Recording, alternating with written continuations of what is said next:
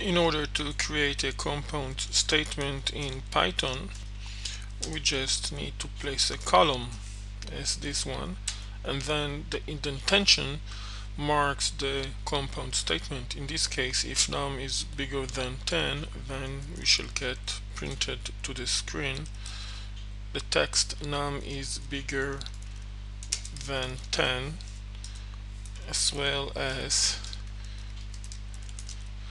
next time it might be smaller.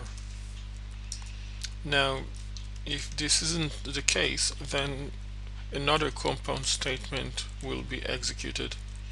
Num is smaller than 10 will be printed first and then we shall get printed to the screen the text. Next time it might be bigger. Now if we try to execute this code this is the output in this case because num equals 12 if num was 5 for example this will be the input the output